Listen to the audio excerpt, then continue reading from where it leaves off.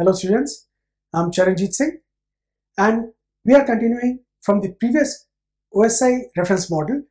Today we are going to see TCP/IP architecture. TCP/IP architecture में हम हमने देखा है कि सब प्रोटोकॉल्स पे काम करता है तो ये प्रोटोकॉल्स लेयर्ड हैं now in the layered protocols how the TCP/IP protocol functions that is how we are going to see तो on the cost of repetition protocol क्या है?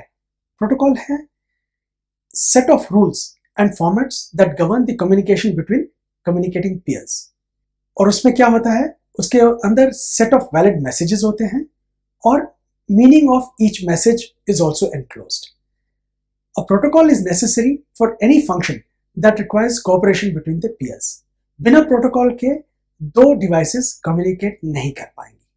So what do what does the protocol tell protocol हमें समझाता है message का syntax that is वो क्या क्या फ़ील्ड उसमें है और उनका फॉर्मेट क्या है।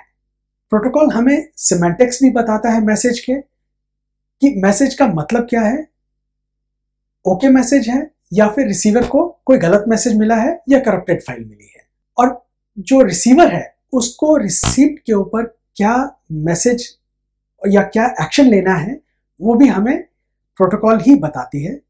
अगर उसको ओके okay मैसेज मिला है तो उसको रिसीव करना है। अगर ओके okay मैसेज नहीं मिला है तो हमें रिक्वेस्ट करना है रिट्रांसमिशन ऑफ़ द फ़ाइल और अगर रिट्रांसमिशन करनी है तो हमें एंटायर फ़ाइल चाहिए, या फिर एक पोर्शन फ़ाइल का चाहिए, जो ठीक नहीं आया है। तो ये हमें प्रोटोकॉल बताती है। एक और तरीका जो प्रोटोकॉल को हम देख सकते हैं protocol basically is a service provider The example of protocol providing reliable and file transfer service. Peer entities use the protocol to provide a service to the higher level peer entity. Presentation layer वो application layer को service provide करती है session layer presentation layer को provide करती है तो peer entities जो है प्रोटोकॉल को सर्विस प्रोवाइडर यूज़ करते हैं to the higher level peers for example postal workers जो हैं, हमारे वो कैसे लेटर्स ट्रांसफ़र करते हैं, वो रिलायबली ट्रांसफ़र करते हैं रिलायबली नहीं ट्रांसफ़र करते हैं, और अगर नहीं ट्रांसफ़र करते हैं तो हमें जो सेंडर होता है, उसको रिक्वेस्ट भेजनी पड़ती है रिट्रांसमिशन के लिए। तो ये जो सब है, ये हमारे पास प्रोटोकॉल्स हमें इंफॉर्मेशन देती है। Now we have layering of the protocols a network that provides many services needs many protocols अब प्रेजेंटेशन लेयर जो प्रोटोकॉल चाहिए, वो डिफरेंट है। सेशन नेट लेयर को जो प्रोटोकॉल चाहिए, वो डिफरेंट है। तो जैसे ही हमें प्रोटोकॉल्स जो चाहिए, अगर वो ज़्यादा सर्विसेज़ प्रोवाइड करनी है तो ज़्यादा प्रोटोकॉल्स चाहिए होंगी। तो it turns out that some services are independent but others are dependent on each other that is why we need protocol layering protocol layering में हम अगर प्रोटोकॉल ए है, वो एक प्रोटोकॉल बी यूज़ कर सकती है फॉर एक्सिक्यूशन जैसे पैकेट ट्रांसफ़र है, वो एक स्टेप है execution for reliable transfer of file अगर एक प्रोटोकॉल है A that may use protocol B for a step in its execution this forms a dependency which is called layering अगर एक प्रोटोकॉल दूसरे प्रोटोकॉल का सहायता लेती है काम करने के लिए तो इसको हम लेयरिंग बोलते हैं। और रिलायबल फ़ाइल ट्रांसफ़र के लिए लेयरिंग पे जो पैकेट्स हैं, वो ट्रांसफ़र होते हैं like a subroutine protocol stack a protocol stack is a set of protocol layers and each layer uses a layer below and provide service to the layer above तो इसमें क्या है कि एक लेयर जो है, वो नीचे वाले का सर्विसेज़ यूज़ करती है और ऊपर वाले लेयर को सर्विस प्रोवाइड करती है। The key ideas in protocol stack are that once we define a service provided by a layer we need to know nothing about the details of how the layer actually implements this service इसका मतलब है कि जब हमें एक service provide देती है तो अगर जो लोअर लेयर उसके ऊपर क्या काम कर रही है, हमें उसकी कोई जानकारी लेने की ज़रूरत नहीं है। वो अपना काम करके जिस तरीके से अपर लेयर को इंफॉर्मेशन चाहिए, वो इंफॉर्मेशन ट्रांसफ़र कर रही है। तो इसका मतलब ये है कि जो लोअर लेयर है, जैसे ही वो सर्विस प्रोवाइड करती है अपर लेयर को तो वो अपर लेयर से इंफॉर्मेशन हाइड करती है। This helps in stopping the overloading of the layers and it decouples any changes now what is the importance of being layered this breaks up complex problems into smaller manageable pieces It can compose simple service to provide complex ones. For example, अगर HTTP protocol है वो Java layered है over TCP/IP and in all these, you see that IP is piggybacking on TCP. TCP is piggybacking on the HTTP. Now, all these have broken down their own work and that is being not, it is not being intershared. So another importance of being layered is abstraction of implementation details हम separately implementation करते हैं और उसका specification देते हैं। This can change implementation as long as service interface is में और हम लेयर्स की फंक्शनैलिटी है, उसको जो यूज़ कर सकते हैं अगर हम लेयरिंग इस्तेमाल करें। Upper layers can share lower layer functionality for example wind it can be use on Microsoft Windows also.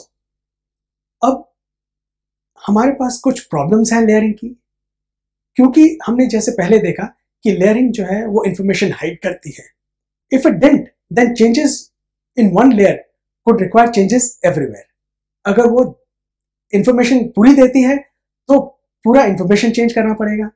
And that will result in layering violation तो इसलिए hiding of information is good अगर हम इसको ये देखें कि लेयरिंग जो है, अगर वो इंफॉर्मेशन हाइड करती है तो उससे प्रॉब्लम्स भी हो सकती हैं। Some other problems with layering are that hidden information can be used to improve the performance. अगर पूरी इंफॉर्मेशन अपर लेयर को दी जाए तो अपर लेयर जो है, वो अपना परफॉर्मेंस एनहांस कर सकती है। बट अगर हम उसको ज़्यादा इंफॉर्मेशन देंगे तो वो लेयर ओवरलोड हो सकती है। For example flow control protocol में think packets losses always because of network congestion if it is instead of due to lossy link then flow control breaks तो आप देखेंगे कि अगर वो कंजेशन की वजह से फ्लो कंट्रोल रुक रहा है या लॉसिनिंग की वजह से रुक रहा है अगर इसका पता चलता है अपर लेयर को तो उसके वो इंप्रूवमेंट uh, के लिए काम कर सकती है। एंड जगह जो इंफॉर्मेशन हिडन है कि वो किस किस लिए वो इंफॉर्मेशन वो लॉसी लिंक है या वो कंजेशन की वजह से है तो अगर ये इंफॉर्मेशन हाइड करते हैं तो अपर लेयर उसके ऊपर काम नहीं कर सकती है।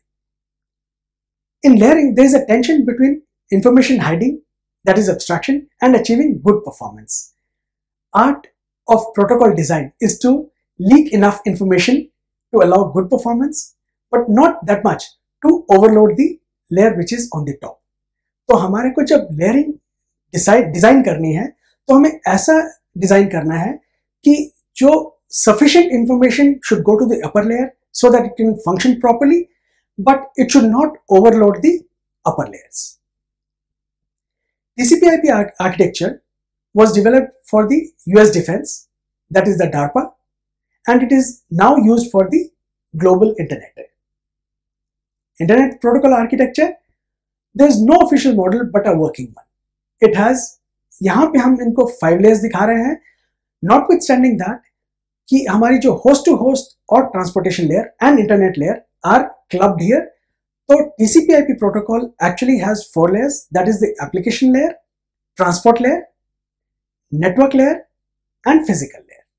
अब हम TCP/IP आर्किटेक्चर प्रोटोकॉल्स की इंडिपेंडेंट लेयर्स को देखते हैं वो कैसे काम करती हैं? इससे पहले कि हम उनके ऊपर लेयर्स के ऊपर आए OSI model and TCP/IP model का एक बार फिर हम डिफरेंसेस देख लेते हैं, जो सात लेयर्स हैं टीसी ओएसए रेफरेंस मॉडल की और चार लेयर्स टीसीपीआईपी मॉडल की, जो ओएसआई मॉडल की top three layers are there application, presentation, and session. They are merged into one application layer in the tcp/ip model. The transport layer is converted into host to host communication layer network layer is available in both OSI reference model and TCP IP model and physical layer and data link layer are clubbed into physical layer in the TCP IP model. Taking the layers independently, जो physical layer है, physical interface it is between the transmission device and the receiving device. तो जो communication है that is between the transmitter and the receiver. And the characteristics of the transmission medium are signal levels and data rates. Signal levels are 0 and 1 and data rates is the speed of the data on which it is being transported. Whether it's a 56.6 kbps modem or it's a 100 mbps link, that is the data rates will depend on the channel that we are using. Next comes is the network access layer and the internet layer. These two are one in the TCP IP architecture. This exchange data between the system and network. It provides destination address and it invokes services like priority. Priority is class of service. अगर हम voice messages भेज रहे हैं तो उनको sequence में होना ज़रूरी है they should get top priority on the link whereas अगर हम ईमेल भेज रहे हैं तो उसको एक लोअर प्रायोरिटी भी मिल सकती है इंटरनेट लेयर इस सिस्टम में this can be attached to different networks routing functions across multiple networks and it is implemented in the end of the system and routers. This is the layer which is used for basic communication and address resolving. Next layer is the transport layer which ensures reliable delivery of data and ordering of the delivery. By ordering of delivery is the sequencing of delivery like we discussed before. अगर video या voice messages हैं, the packets have to go in a sequence whereas in emails the order can be different when they can be aggregated at the receiver end. The last layer is the application layer this is the HMI, the human machine interface, and it supports all the user applications. And the protocols which are supported here are HTTP and SMTP.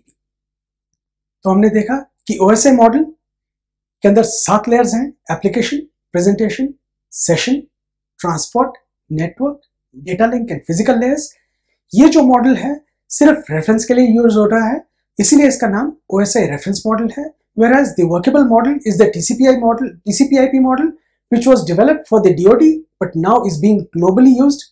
It has four layers which are application, host-to-host -host communication layer, network layer and physical layer. Thank you very much students.